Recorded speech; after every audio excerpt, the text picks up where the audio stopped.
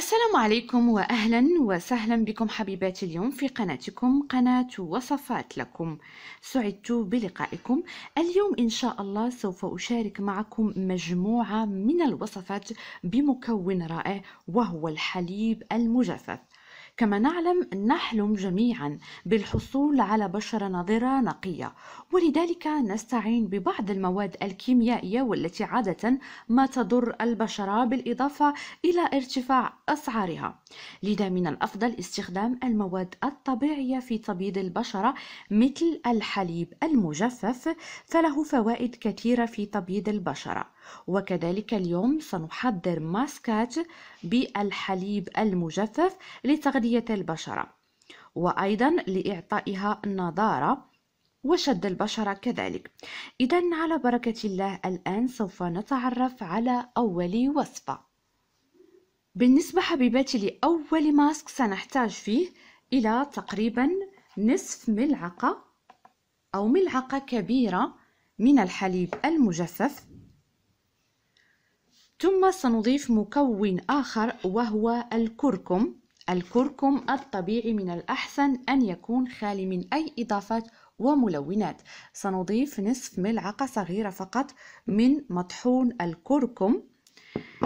ثم سنضيف المكون الآخر سوف يزيد من نضارة البشرة. سنضيف الشوفان. سنضيف تقريبا ملعقة صغيرة من مطحون الشوفان. بعد ذلك سنضيف هنا لمزج وخلط هذه المكونات. أضيف ملعقة من زيت الزيتون. إذا كنتم تريدون إضافة زيت الزيتون أو حتى زيت اللوز الحلو أو حتى زيت جوز الهند أنا هنا سأضيف تقريبا مقدار ملعقة من زيت لوز حلو لأنه مبيض فعال يعطي ترطيب كذلك يعالج كذلك جفاف البشرة. كآخر مكون سنضيفه هو العسل الطبيعي عسل النحل. أنا سأضيف هنا تقريبا ما يعادل مقدار ملعقة صغيرة لأنه هو الآخر مبيض ومفتح للبشرة. سنخلط جيدا المكونات حتى تتجانس مع بعضها البعض. نخلط جيدا. نستمر في دمج. المكونات. هذه الوصفة رائعة ممتازة. ستعطيكم تبييض تفتيح لبشرتكم. يمكنكم تطبيقها سواء على بشرة الوجه أو كذلك بشرة الرقبة أو اليدين كذلك. بعد ذلك سنقوم بتنظيف البشرة جيدا ثم سوف نبدأ بتوزيع هذه الوصفة. نضع طبقة بالخصوص على مناطق تواجد الهالات السوداء كذلك فهذه الوصفة ستعالج لكم الهالات السوداء. سنضع طبقة تكون سميكة ثم سنتركها تقريبا مدة عشرون دقيقة إلى غاية ما تجف. بعد ذلك قوموا بإزالة هذه الوصفة بماء يكون فاتر ثم في الأخير بالماء البارد. استخدموها تقريبا مرتين في الأسبوع للحصول على أفضل النتائج. وصفة ممتازة ورائعة جدا. والآن سوف نمر للتعرف على الطريقة الأخرى أو الوصفة الأخرى للحصول على بشرة رائعة جدا وكذلك تعطيكم شد للبشرة. بالنسبة للوصفة الموالية سنحتاج فيها أيضا إلى ملعقة كبيرة من الحليب المجفف أو الحليب بودرة. سنضيف ما يعادل تقريبا مقدار ملعقة. ثم سنضيف لها هنا عصير الليمون الحامض مقدار ملعقة صغيرة من عصير الليمون الحامض.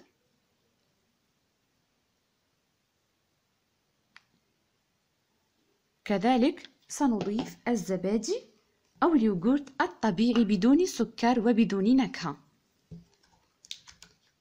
سنحتاج إلى تقريبا مقدار ملعقة صغيرة. ونبدأ في دمج المكونات جيدا.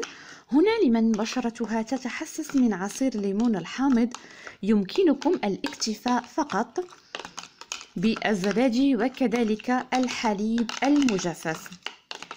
بالنسبة لهذه الوصفة فهي قوية ستعالج لكم التصبغات.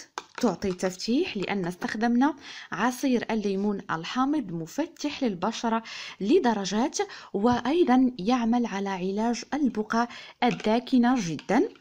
سنأخذ دائما هذه الوصفة ونبدأ بتوزيعها بداية من بشرة الرقبة إلى كامل بشرة الوجه.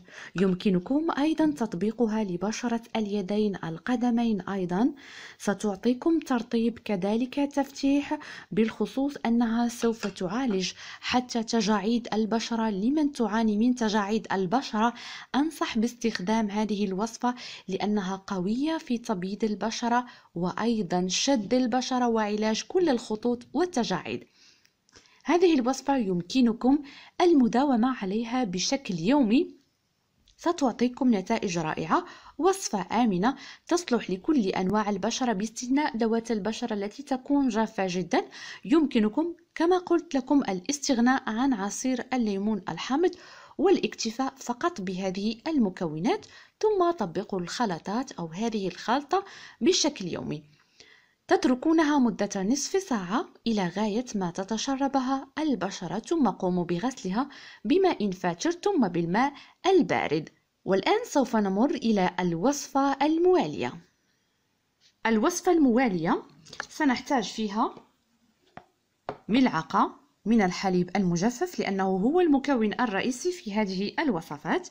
كذلك سنحتاج إلى مكون آخر مفتح للبشرة وهو الدقيق الأبيض. دقيق المخبوزات والحلويات. سنضيف نفس الكمية. مقدار ملعقة كبيرة. ثم سنضيف ما يعادل مقدار ملعقة صغيرة من عصير الليمون الحامض. ما يعادل مقدار ملعقة صغيرة. وسوف نبدأ بدمج وخلط المكونات مع بعض بهنا ماء الورد. يمكنكم استبدال ماء الورد بماء الزهر كذلك. وأبدأ هنا نبدأ في الخلط جيدا. سنضيف ماء الورد تدريجيا إلى غاية ما نحصل على القوام الذي نريده. هذه الوصفة ستعطيكم تبييض رائع يمكنكم تطبيقها على كامل بشرة الجسم كذلك الركب الأكواع لأنها ستعطيكم تفتيح لدرجات وتعمل على علاج التصبغات والبقع التي تكون غامقة جدا. أنصح باستخدام هذه الوصفة. كذلك هنا الحليب المجفف وأيضا الدقيق الأبيض يعملان على ترطيب بشرتكم. هنا الحليب المجفف يحتوي على حمض اللاكتيك يفتح البشرة لدرجات. أيضا الدقيق الأبيض مرطب ممتاز. بعد أن قمنا بالخلط جيدا وتحصلنا على شكل كريمة كما تلاحظون هنا الخلطة لدينا على شكل كريمة. سنأخذ هذه الوصفة ونبدأ بتوزيعها دائما بداية من بشرة الرقبة. إلى كامل بشرة الوجه أيضا على منطقة الهالات السوداء. هنا ملاحظة دائما ذوات البشرة التي تكون حساسة جدا من عصير الليمون الحامض. يمكنكم دائما استبداله أو تعويضه بالحليب السائل أو إذا كانت البشرة حساسة جدا يمكنكم الاستغناء عن عصير الليمون الحامض. إذا كما تلاحظون هذه الوصفة تتركونها مدة نصف ساعة حتى تجف. بعدها قوموا بغسلها بماء فاتر ثم بالماء البارد. إذا كما رأيتم اليوم شاركت معكم مجموعة من الوصفات بمكون ممتاز رائع وهو الحليب المجفف له فوائد رائعة على البشرة سواء تبييضها تفتيحها وأيضا علاج التجاعيد وجفاف البشرة. أتمنى بطبيعة الحال إذا أعجبكم هذا الفيديو لا تبخلوا علي بدعمي بالضغط على زر لايك وأيضا إذا كنتم أول مرة تشاهدون قناتي لا تنسوا الاشتراك مع تفعيل زر الجرس حتى يصلكم كل ما هو جديد.